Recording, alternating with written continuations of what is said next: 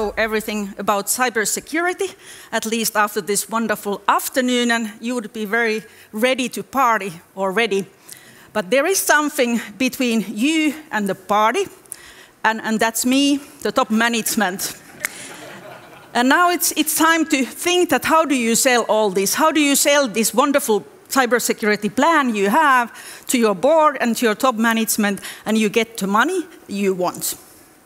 And I'm not a cybersecurity professional myself, but I've been responsible for cybersecurity for the past, let me see, 15 years in my CIO, CDO type of roles. So first at Nokia, then at KONE, and nowadays at Aalto University. And as you heard, I'm also a board professional, so I've been serving in 10 different boards, and obviously Nixu is the best.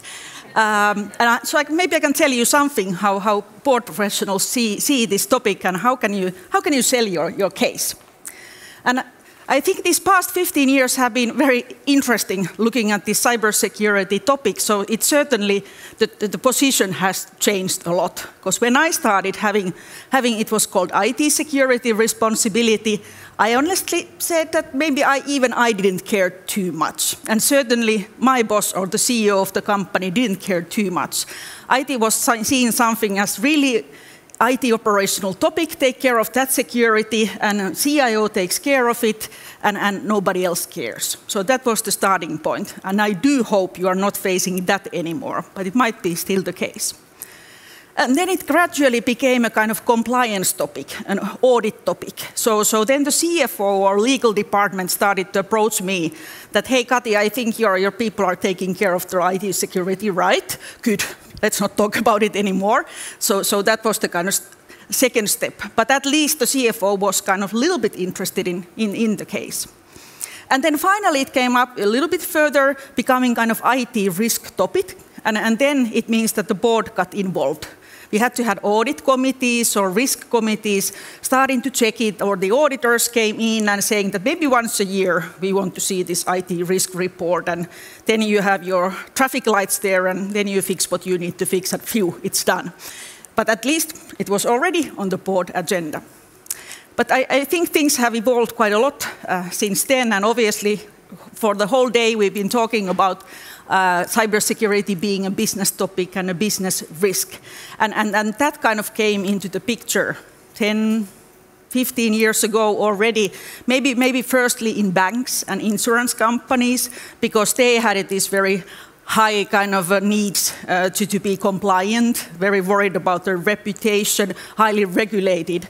And gradually that happened also in other areas, and especially now when we got GDPR and, and some of these disclosure standards, I, I, think everybody is now worried about kind of business compliance. So that has already got some, some more attention in the boards. And then we uh, lately have had a kind of very security, let's say, savvy companies like Wärtsilä, like Kone, and people then want to say that, hey, security is now in our DNA. And then the top management starts to be interested in saying that, hey, we, we want to see the investments, we want to see the leadership to be committed, and, and also the board starts to see it like, like a capability. They start asking for training statistics and stuff like that. And then I think cybersecurity is already quite well on, on board agenda. But of course, what I hope to see more, and, and we see some companies doing that, is that cybersecurity is really a kind of business advantage topic. So people say that we want to excel in cybersecurity, and it's kind of core part of our product and service and everything we do. And I think that's where you want to be, right? Because then you get the money and you get the investment. And why this is a really good time to be a kind of cybersecurity professional is that, that now we are, we are truly on the agenda for, for that. And uh, there's a kind of huge interest for the topics. And I think there are several drivers for that. And you should utilize these drivers. And the obvious one is all the cases around us. Uh, it's not nice that, that we have cyber war ongoing or, or we have kind of serious incidents uh, around the world. But uh, un unfortunately, crises get the attention. So, so you can use that and now the boards are worried about things that are happening, happening around us. And there are several studies that the board say that the cybersecurity is like on the top three or four topics on their agenda. So in a way, the, the, the door is open for you to tell your story. Uh, then I, I, think also this regulation is all the time going forward. So that's a, a kind of another good vehicle for you saying that the board is responsible. It's actually not you there being responsible, it's the board. And, and, and if, if they are not kind of concerned or worried what you are doing, then they are not doing their work. And then the third kind of positive thing I see happening is obviously of the positive reasons uh, for taking cybersecurity as really part of the core, core business as, as we go forward. So this importance of digital assets, and obviously we are talking, looking at like Bitcoin or, or IoT coming, taking over the core business. And then it's also very natural for the board think through that, that, that this is now core part of our, our business. So I'm, I'm really thinking that all the modern boards now recognize both the risk side, so that the cyber threats are perhaps the biggest threats we have for our business at the moment, and they are actually on top of the agenda for very many companies, also represented here. So you can use the threat story, but please use also the kind of positive business advantage story, because this is, a, this is the way to kind of preserve the value of the company going forward.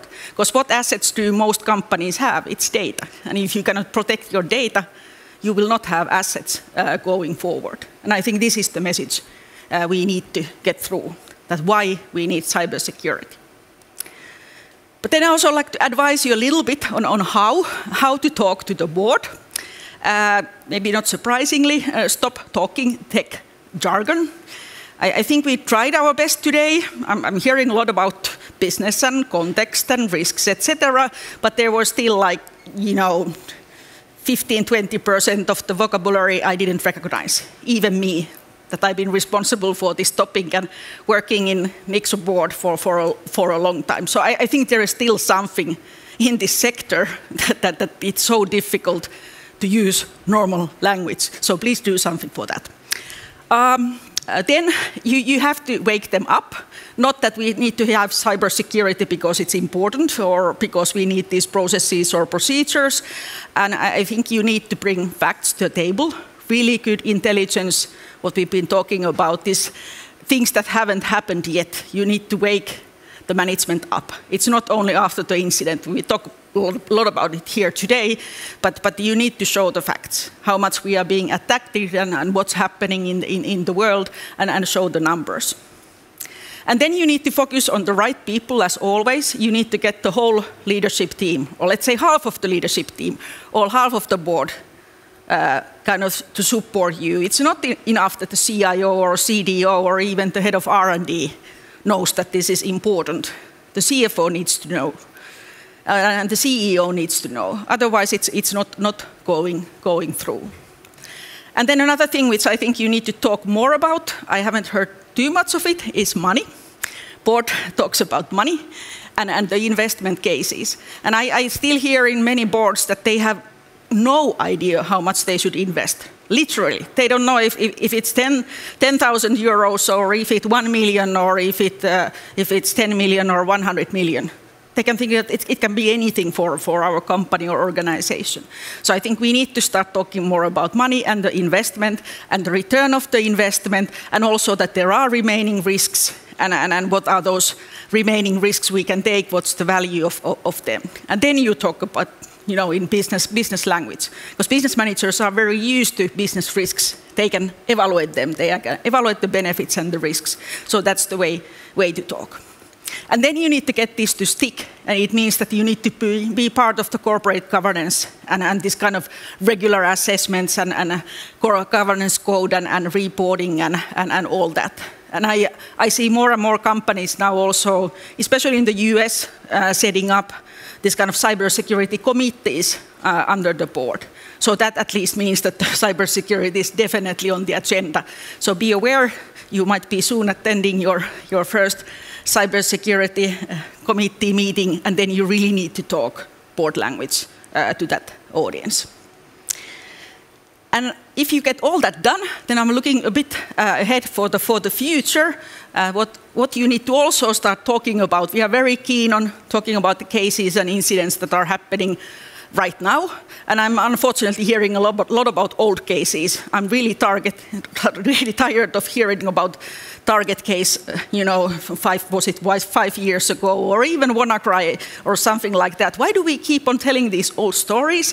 Let's talk about future. I, I think that would be much more interesting, and looking at looking at the kind of emerging uh, cyber uh, threat trends that are, are coming, and and don't be kind of too narrowly focused here talking about IT or products only. For example, spreading of disinformation is very relevant management discussion topic. Uh, all kinds of attacks on information, uh, kind of security, integrity, privacy, all these topics. Let, us talk about all of them because they are all relevant to the, to, to the board.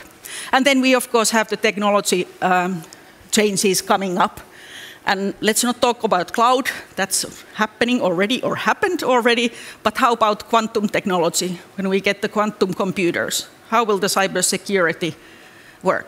There might be some people here, I'm at least very interested in hearing that story. How do we need to change our, our kind of cybersecurity approaches by, by that time? But overall, I would say that it's, it's, it's wonderful that boards are becoming more aware of this topic you are on the agenda and the doors are open, so you should be really happy about that. But then it also means that, that you need to take this responsibility to take, talk, talk to them uh, in, the, in the right way and, and then take the full responsibility. And, and the future is good as we keep the digital society going. Thank you.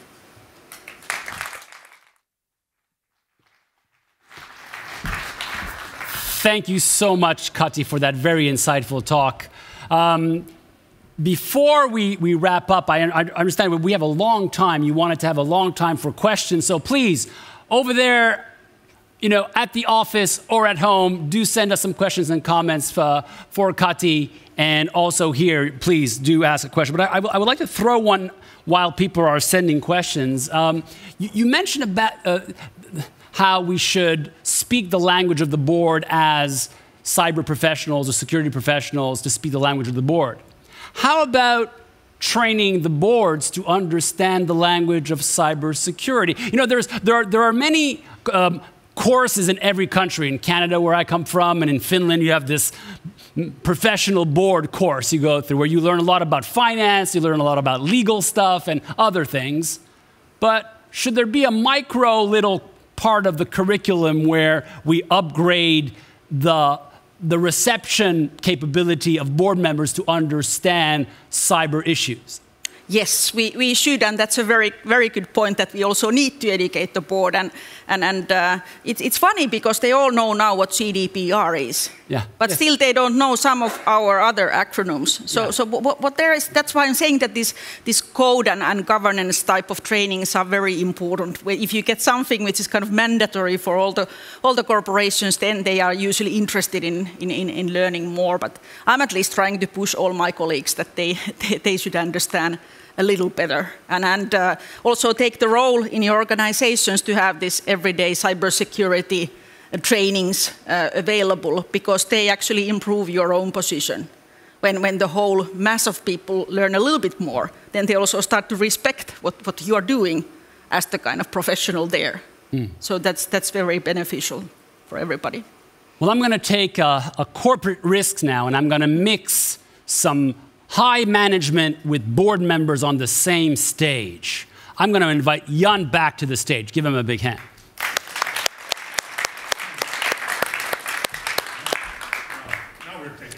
Now we're taking a big risk. Now, now this is a risk. There, there, there goes the budget. Yeah, yeah, goes, yeah. So, um, you know, I, would like to, to, you know, in, in this particular case, um, you know, how have you it's probably easy for, for, for, for Nixu, but has this been a problem from what you see? You know, you've been, you've been how many years in this? I, have seen you at these events for like 10 years or something like that. Uh, I've been in the kind of in the field, of, let's say around 15, 20 years. 15, but, 20, yeah. so, yeah. so, so you probably have can you echo what Katja said that it's, it's hard to make your point to the board, to upper management? Yeah. How has that evolved from your perspective as, a, as an expert and now a leader and management leader of, of a company? Yeah, of course. Uh, during my kind of career, also, we, we uh, kind of as as I've progressed on the career, I've been kind of coming closer to the board. So, of course, in the early days, uh, th those were like some mysterious kind of creatures somewhere that you never see or hear, hear about. But uh, and if you do, it's probably a problem more than and, an opportunity. And uh, but of course, especially now, we kind of have a quite of a open and direct dialogue on many topics, and maybe kind of hard to reflect in a way since Nixu is all about cybersecurity. Yeah. Then that it's it's kind of part of everything. So. So I guess we kind of talk cyber in a way, but we're focusing kind of it, it's kind of given in a way, and then and then we're discussing all different aspects of it. But but having said that, uh, I think that one thing that has changed quite dramatically over the years is that the board has started to ask questions regarding cybersecurity uh, during my career as well. So so. Uh, uh, first it was like preaching to the choir there somewhere down in the organization and, and, uh, and uh, got literally kind of zero attention. But then at some stage, I don't know, 10 years back or something, the board started asking, so are you kind of up to the job or not? And uh, I guess that's where the kind of awareness then yeah. was elevated. So. Yeah, Kati it's all about money, and I do foresee that we are getting separate cybersecurity budgets, that they are not becoming part of IT budget or part of our R&D budget, and actually discuss this even on a, on a national level. If we look at like what Finnish government is spending on, on, on kind of security and, and defense forces, we should at, uh, look at these slides for, for cybersecurity uh, kind of protection and all that area, and, and it, it, it's, it's going to grow. That's, that's obvious uh, what we what we need. So so in, and then it becomes sports attention again because mm. it's about the kind of how big investments we, we, we need to need to make. And we have a question in the chat about something that you raised in your in your uh, great opening on the business case for, for cybersecurity. So Asim, thank you, Asim, sending this question. He, he asks, how can we calculate the business case if security is primarily a cost? Mm. Yes, this is a classic question, but, but now I, I guess again, we, if we look at, look at the war and we look, look, look at what we are investing in kind of uh, preventing and protecting our country, so, so that's obviously kind of one harsh case to explain that yeah. you need to invest to have that capability so that nothing happens. But in, in business terms, I, I, think it's more useful to talk about kind of business downtime. Uh, what's the kind of impact for business? Uh, we can measure the impact uh, for reputation. There is yeah. a cost for that, and that's actually a main interest for many of the board members. Only secondary are the op operational uh, issues, uh, yeah. loss of trust, uh, loss of customer confidence, and so you can start putting some price tags uh, for, for those what you are preventing. So certainly not only responding to, to incidents, but, but pr preventing things that can destroy your business. Mm. And then as, as I explained, when they really become part of your core offering, then of course the value is the whole whatever you are producing, your whole whole mm. product mm. Or, or, your whole whole service offering. So then it's definitely not not the cost. It's like your key asset to mm. produce what you do is this, Jan, a part of the sales process? Because you're, you're, selling, you're selling very valuable mm-hmm. consulting and technology.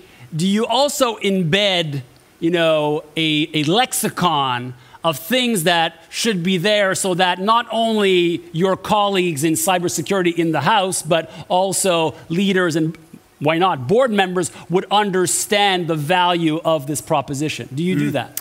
Yeah, well, I, am I'm, uh, I'm convinced that we've at, at, least tried to do that. Uh, uh, having said that, I, I also kind of uh, I, I, heard it loud and clear on, on your presentation there that yeah, we as a group kind of need to start uh, speaking human, and and I, I couldn't agree more. Uh, and it's of course it's also a tough job. We need to kind of educate ourselves to kind of understand that what what does the the other part kind of expect uh, to hear? How do we justify? How do we kind of uh, show return on investment or something? It's it's not an easy task uh, because mainly we're kind of involved in all kind of techie stuff that's uh, and uh, for many of us, it's also the kind of thing that gets us going. Uh, we heard, for instance, Jouni, he was his kind of eyes lighting up when he talking about incident response and uh, forensics. And, and from the board perspective, you would kind of want to avoid those altogether, right? So, so, so that very different. You were great, inspiring. Jouni. I thought yes. you were great. I thought you were great, but everything yeah. has a context. Yeah, yeah. Mm. yeah. very good point. Listen, um, any questions uh, from the audience here live? We our chat is a bit silent. Sir, can you give him the microphone? Yes, hello, Jari Österberg from UPM. So uh, one question for Ms. Uh, Hagros and also then for Mr. Mickos. So if you think about shared responsibility, that is no responsibility. What is in a way tradition. I'm sorry, could you speak a little bit closer? Yes. Yeah, thank, yep. thank you. Okay. Yeah. So shared responsibility is naturally and commonly kind of interpreted that there is no responsibility. And the board and also the management is very used to the word accountability. Ms. Hagros, how do you see the board? Should there be somebody named as responsible for cybersecurity? Because traditionally on a board, there are nominations for the head of the committees, things like that. But at least in our company, we don't have yet cybersecurity committee, so we don't have a nomination. So what is your view on that one? And then Mr. Mickos, how do you see also for the executive teams? Should there be somebody responsible? And one reason why I'm asking this, I'm CISO at our, our company, and I would like to have somebody to stand on the same line with me. Thank you. Hmm, Great question. Yes, accountabilities and responsibilities are needed. Even though you ask from Jan, I do think that on executive level, so the management team level, there should be a clear responsibility, uh, and, and and whether it's CISO directly, but some or somebody. Uh, that from from other from from the team, uh, but then in the board, of course, board in a way is a, is a quorum, so it's actually it doesn't have individual responsibilities. But but the what's happening right now it, is that people are asking more and more that are there capable people in the board, and does at least somebody or hopefully two persons know there. And by the way, this is good news to you because you you will have much more board prof- professional careers and opportunities ahead of you because those people are needed who are able to ask the CISOs the right questions. And I'm sure you know that it's sometimes that it's nobody understands what you are what you are talking about. And I also think that the kind of good boards uh, listen to their CISO directly, even though it, he or she wouldn't be part of the management team. So this is a kind of the same way you want to hear, listen to your auditors or some key people in the uh, uh, organization. But yeah, in, a- in a way, it, it should be on the board's agenda and there should be enough knowledge. But what are your views on the responsibilities? Yeah, I'm, I'm gonna pick on the part that you addressed to me, and uh, I was kind of here while listening, kind of uh, uh, thinking to myself that it's I see it kind of as a kind of a dual-edged sword in a way. It's it's yes good to have kind of someone with clear responsibility and accountability. Having said that, I think it's it's also kind of a matter of kind of a, uh, awareness and general leadership in a way, and, and kind of making cybersecurity part of the business culture in general, and that's maybe the thing there that if, if you kind of isolate the responsibility too much, then the rest of the guys are kind of saying, yeah, okay, it's, it's she'll take care of it, so not not on my table, and, and that becomes a problem. So, so kind of keeping those in balance uh, would be the best thing to do there, and, and I would consider having it kind of cybersecurity uh, part of the kind of business risk management of every leader or at all levels in the organization, but then someone kind of having responsibility of leading that kind of awareness and situational awareness uh, throughout the organization. or giving the practices and, Yeah. processes and, and giving the advice on technologies and so forth. But uh, again, if you want to have a good cybersecurity culture, it needs to be the whole leadership team. Otherwise, it's not culture. Yeah. If it's just CISO there shouting that, hey, let's take care of this, it's, it's not mm. really mm. company culture mm. as, as a whole. Do you have any good management leadership hacks for cybersecurity? I mean, you know, of course, there are, we have systems, we have fancy software, but we, you know, we heard from Matti that it's not all about technologies. It's about, it's about context, it's about collaboration. You know, I'm, I'm, I'm being creative here, but you know, uh, you know, a lot of Finns go, you know, for you know, once a, a couple of years they go to the army for a week or two, and you know, get into the mood of, of, of defending the country. It's, and, and they get a lot of knowledge. Are there hacks like that? You know, uh, um, a, a two-day power day for all management members. Uh, is there uh, something that happens on a, maybe a, a monthly basis that could be done, or uh, innovative, Yes. very maybe Yeah. even low-tech uh, solutions that ensure a, a greater cybersecurity awareness and culture throughout the organization? I, I, think we should invent more, more of them, but definitely, yes, I always believe in this show me, don't tell me.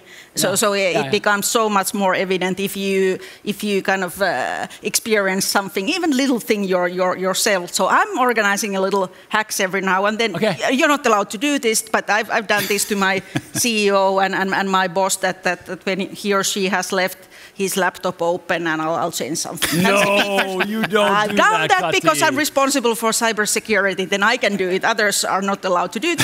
But it's it's pretty effective. He or she remembers that afterwards. That, okay, I'm not not leaving my, my laptop open or or things like that. And I, I very much believe in all kinds of uh, kind of cases and uh, rehearsals and making it as, as tangible as, as possible. So I think we should have them in in company culture, and you should invent more of these. And don't be too sophisticated and techy here. I think that's the problem. We need to yeah. really make simple cases which are kind of fun and a bit game-like. And, and uh, organize a game, and then you're sending something funny to everybody who clicked the phishing mail or something like that. So, so I, I think these kind of events and things we should organize. Now I know why you're such a popular board member. Now I know. Very well done. Well done indeed. Any thoughts on this? Uh, yeah, I, I, kind of take another example. So, so for instance, in, in the past, I've been doing quite a bit on, on kind of going and attending uh, leadership uh, team meetings for, for client organizations that are not in the cybersecurity business, but uh, doing some other business. And because in many cases, it's it's also the, the kind of they have been listening to those internal the, the, CISOs, the Jaris and others, kind of telling them all sorts of stuff. But at times, it might help to kind of have external kind of help reflecting and also maybe kind of speaking more amongst peers in a way, and, and, and by doing that kind of raising awareness and ultimately helping out then the CISO team there to get the support again of, of the mm. overall leadership. So these type of things we had a lot of kind of on the uh, today about kind of collaboration maybe we could do kind of round tables uh, uh, on the topic between amongst leaders in other different organizations and stuff so to kind of really reflect excellent insights